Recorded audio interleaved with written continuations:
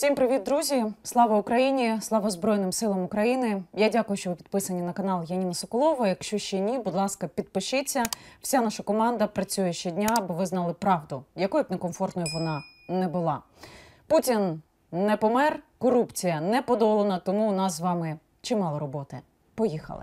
Влада почала всеохопну перевірку територіальних центрів комплектування і соціальної підтримки, простими словами, військоматів. На особливому контролі 11 областей повідомив президент Зеленський. Щоправда, не розповів, яких саме областей.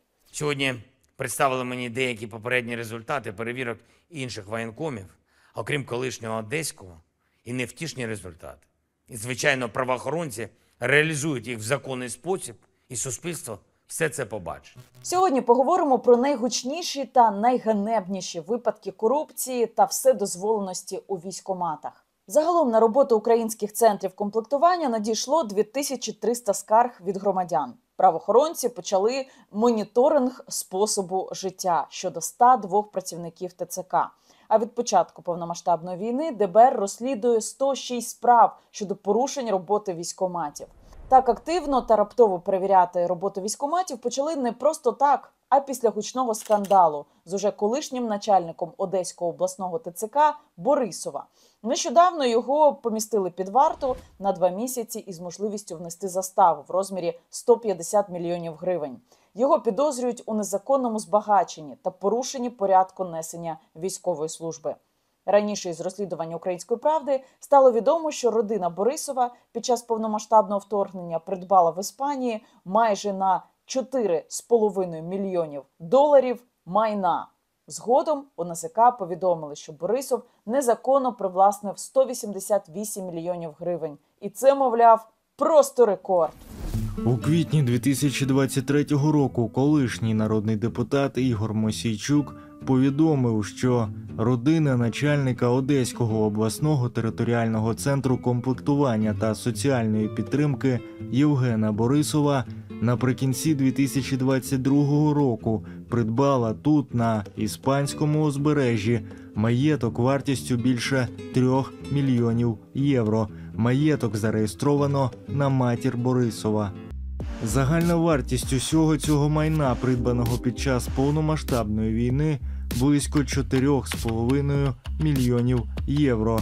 Але і це ще не все. Спочатку Борисов намагався втекти, використовував елементи конспірації, змінював номери телефонів, автомобілів і місце знаходження. Та його таки упіймали у Києві.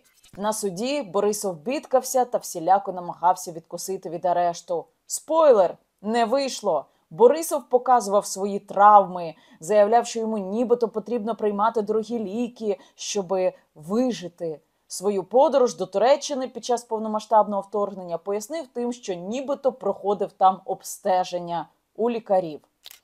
Ще один гучний скандал днями стався на Рівненщині. Там очільник Рівненського обласного територіального центру соціальної підтримки та комплектування Сергій Луцюк знущався над підлеглим і бив його. Погрожував підлеглому зламати руку бейсбольною биткою, якщо той не розповість про співпрацю із правоохоронцями. У ДБР стверджують, військом і його колега довідалися, що водій стрілецької роти однієї з військових частин Рівненського районного ТЦК планує доповісти про їхні порушення. Я, я, я розкажу. Що ти не розказуєш? Що ти, блядь, сипаєш? Що ти сипаєш, нахуй? Що ти сипаєш, га? Руку ти постав сюди, нахуй. Став руку, Я блядь. розказую. Я поотвечав собі, не приберу. Став руку, нахуй, блядь. Що ти, блядь? Ні, а що ти пахло знову мене? Іди, нахуй. Став руку, сука. Йдемо, нахуй. Я отвечаю, перебуваю, нахуй. Що? Не чуєш? Я не буду чесне слово. Посадовці вирішили цього не допустити та побити хлопця биткою. Також у ДБР заявляли, що потерпілого змушували ставати навколішки та вимолювати вибачення. Підозрюваного заарештували за рішенням суду, помістили в СІЗО без можливості внесення застави. За такий злочин йому загрожує покарання аж до 12 років позбавлення волі, зазначили в ДБР. У НАЗК пообіцяли, що перевірятимуть не лише всіх військових комісарів країни, але й їхніх близьких та родичів. братів, сестер, племінників, коханок і коханців. Схоже, у випадку із львівським військомом варто почати з дітей. Журналісти з'ясували, що син львівського воєнкома отримав дорогий подарунок від скандальної забудовниці. 27-річний Владислав Дубовий отримав удар, недобудований будинок із готовністю на 95%, площею майже 640 метрів квадратних разом із присадибною ділянкою. Офіційна вартість подарунку 876 тисяч гривень, але експерти з нерухомості оцінили її у не менш ніж 4 мільйони гривень, близько 110 тисяч доларів. Подарувала будинок забудовниця, звати її Альбіна Савчук, їй 37 років, яка власне і купила його 5 років тому. З якого приводу такий щедрий подарунок та хто для неї сім'я воєнкома коментувати відмовилася. Ну і останні найсвіжіші новини про корупцію у військоматах. На Полтавщині СБУ затримали військома, який за хабар у 6 тисяч доларів допомагав ухилятися від армії. Зазначається, що правоохоронці затримали посадовця на гарячому, коли він передавав своєму клієнту раніше оплачену фіктивну довідку. На Донеччині затримали воєнкома, який разом із поплічником з поліції виготовляв підроблені документи про непридатність чоловіків до військової служби. У Вінниці воєнком і два лікарі створили схему для ухилянтів, яка діяла ще з лютого цього року. За визнання непридатними до служби брали від 3 до 6 тисяч доларів залежно від обсягу роботи. Їх затримало ДБР. Підпишіться, будь ласка, на наш канал. Ми працюємо щодня, аби ви знали правду, якою б некомфортною вона не була. І напишіть, будь ласка, в коментарях, що ви думаєте. До зустрічі завтра, друзі. Коли в тебе болить серце, ти йдеш до кардіолога. Коли в тебе болять зуби, ти йдеш до стоматолога. А коли болить душа, треба йти до психолога. І в цьому немає нічого стидного, це не соромно, це правильно. Заради тебе і заради твоїх близьких. Тобі є кому розповісти. Дзвони. Спокій заради перемоги.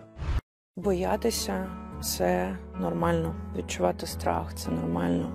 Я вважаю, що нам всім потрібна швидка психологічна допомога, і я вважаю, що ментальне здоров'я воно не менш важливе, ніж фізичне здоров'я. Всі ці почуття, які зараз в нас вирують, це нормально, тому що ми живемо в стані війни. Відчувати гнів це нормально не розуміти, що відбувається всередині тебе, це також нормально і потрібно про це говорити. І виговорюватися це дуже важливо. Ми живемо в стані війни, і це страшно.